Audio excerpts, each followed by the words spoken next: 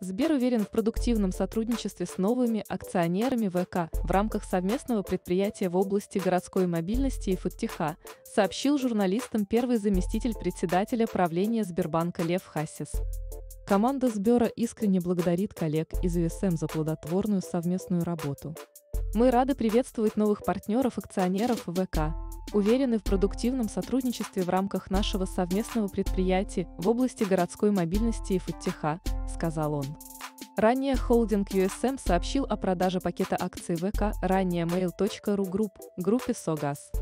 Холдинг USM владел пакетом акций ВК через участие в уставном капитале АО МФ Технологии, контролирующим 57,3% голосующих акций компании.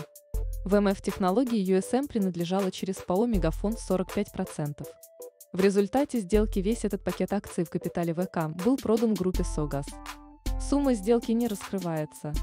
Ранее Сбер закрыл сделку по продаже Газпромбанку 36% акций в ОМФ технологии, контролирующим 57,3% голосующих акций Mail.ru Group Limited ВК за 12,8 миллиарда рублей. Совместное О2О предприятие онлайн to офлайн Сбера email.ru Group в сфере транспорта и еды было создано в декабре 2019 года.